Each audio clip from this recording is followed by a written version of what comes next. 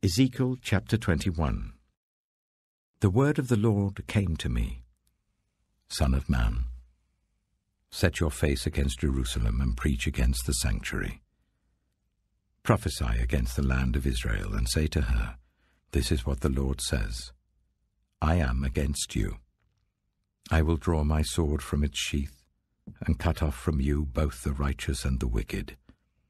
Because I am going to cut off the righteous and the wicked, my sword will be unsheathed against everyone from south to north.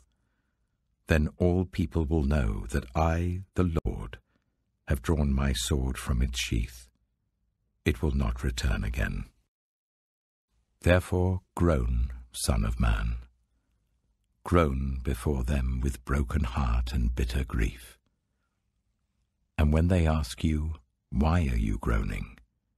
you shall say, because of the news that is coming. Every heart will melt with fear, and every hand grow limp. Every spirit will become faint, and every leg will be wet with urine. It is coming. It will surely take place, declares the sovereign Lord. The word of the Lord came to me Son of man, prophesy and say, this is what the Lord says. A sword, a sword sharpened and polished, sharpened for the slaughter, polished to flash like lightning. Shall we rejoice in the scepter of my royal son? The sword despises every such stick. The sword is appointed to be polished, to be grasped with the hand. It is sharpened and polished, made ready for the hand of the slayer. Cry out and wail, Son of Man, for it is against my people, it is against all the princes of Israel. They are thrown to the sword along with my people. Therefore beat your breast. Testing will surely come. And what if even the scepter, which the sword despises, does not continue, declares the sovereign Lord? So then, Son of man, prophesy and strike your hands together. Let the sword strike twice, even three times. It is a sword for slaughter, a sword for great slaughter, closing in on them from every side. So that hearts may melt with fear and the fallen be many, I have stationed the sword for slaughter at all their gates. Look, it is forged to strike like lightning. It is grasped for slaughter. Slash to the right, you sword, then to the left, wherever your blade is turned. I too will strike my hands together, and my wrath will subside. I, the Lord, have spoken. The word of the Lord came to me, Son of man. Mark out two roads for the sword of the king of Babylon to take, both starting from the same country. Make a signpost where the road branches off to the city. Mark out one road for the sword to come against Rabbah of the Ammonites, and another against Judah and fortified Jerusalem. For the king of Babylon will stop at the fork in the road, at the junction of the two roads, to seek an omen. He will cast lots with arrows. He will consult his idols. He will examine the liver.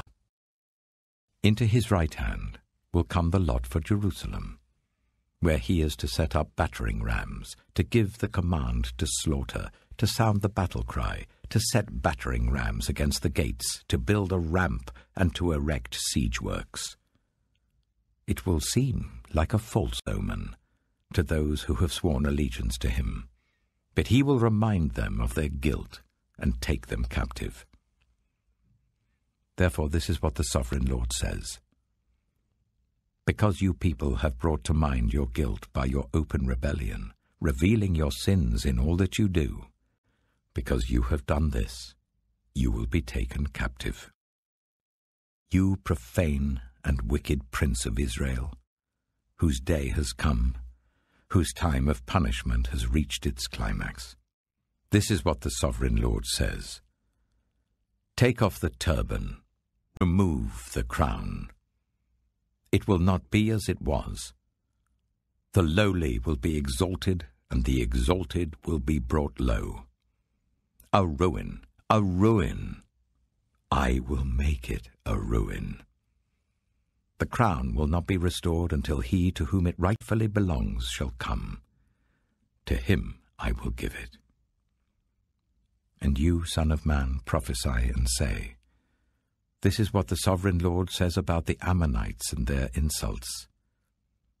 A sword, a sword, drawn for the slaughter, polished to consume and to flash like lightning despite false visions concerning you and lying divinations about you.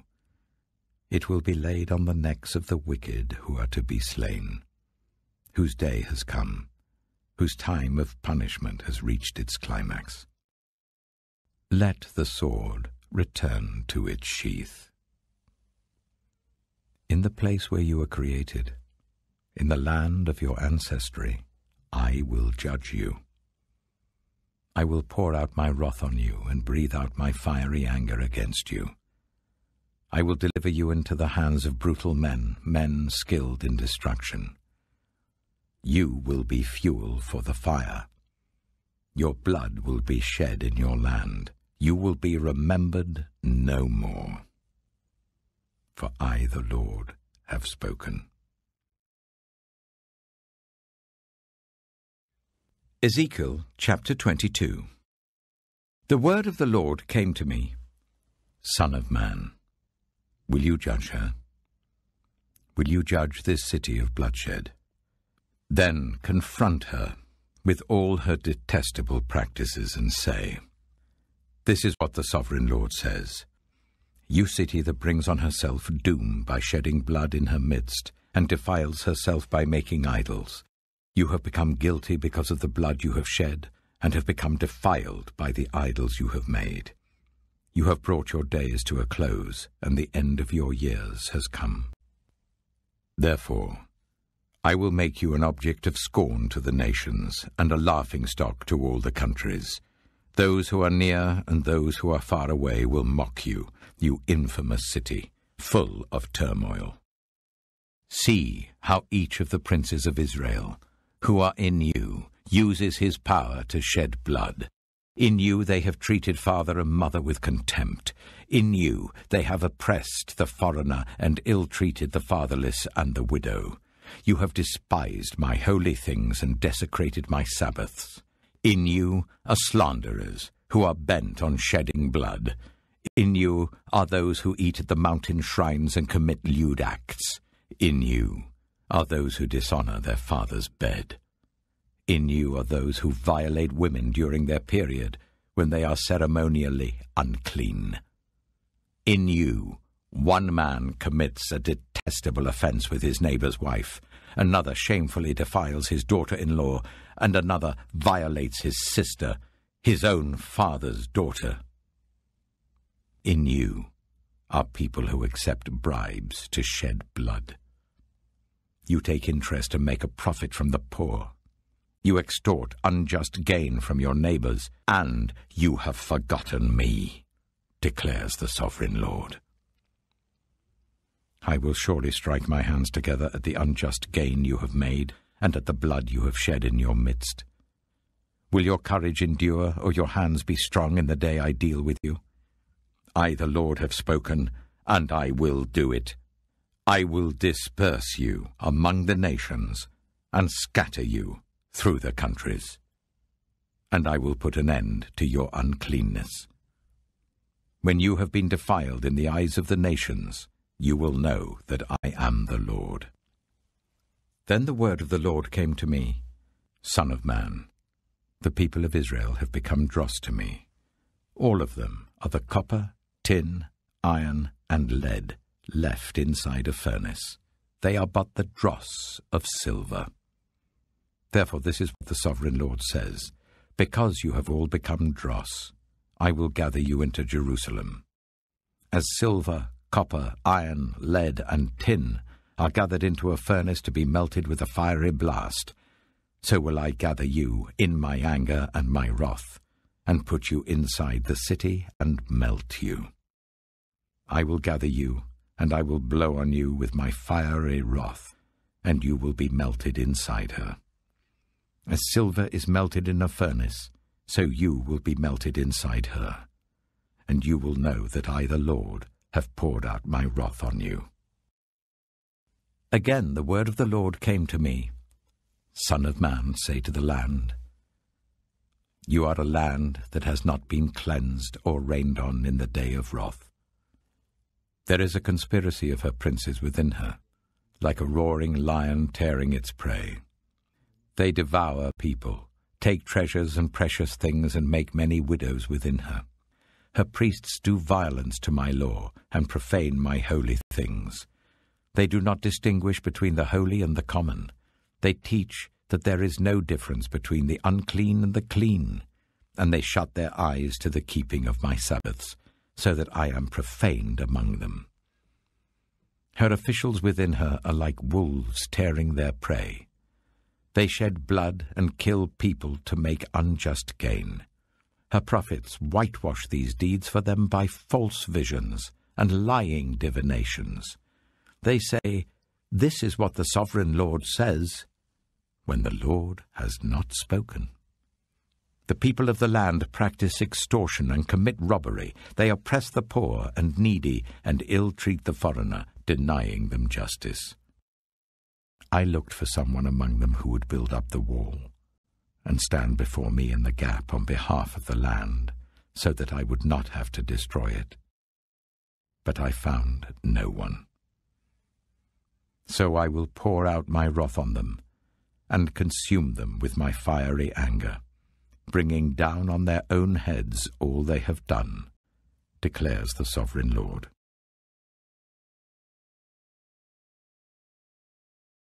One John 1 John chapter 1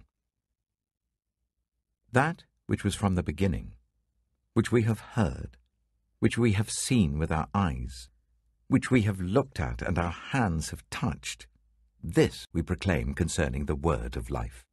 The life appeared, we have seen it and testify to it, and we proclaim to you the eternal life which was with the Father and has appeared to us.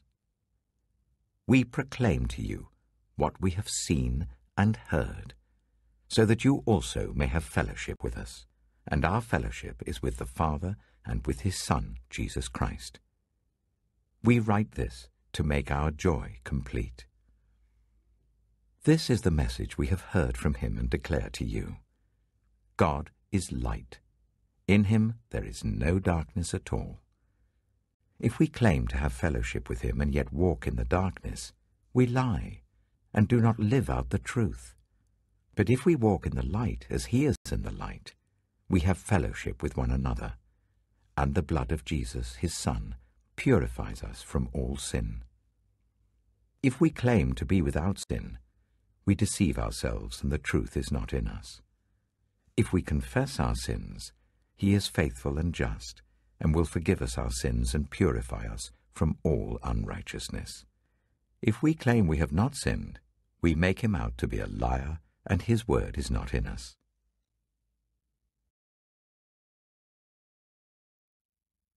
Psalm 115 Not to us, Lord, not to us, but to your name be the glory, because of your love and faithfulness. Why do the nations say, Where is their God? Our God is in heaven. He does whatever pleases him. But their idols are silver and gold made by human hands.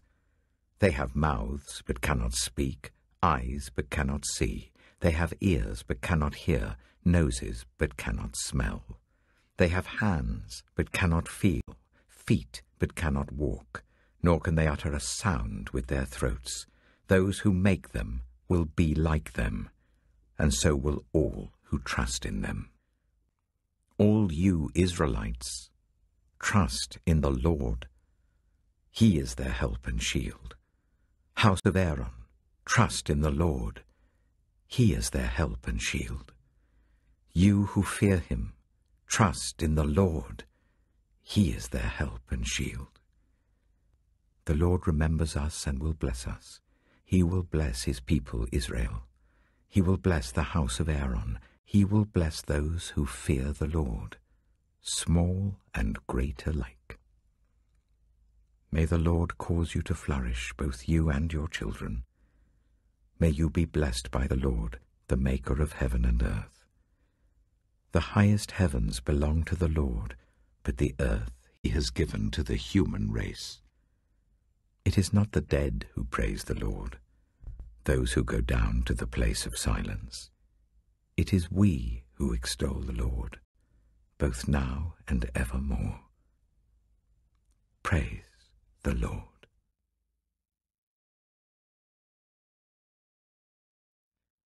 Proverbs chapter 2 My son, if you accept my words, and store up my commands within you, turning your ear to wisdom and applying your heart to understanding.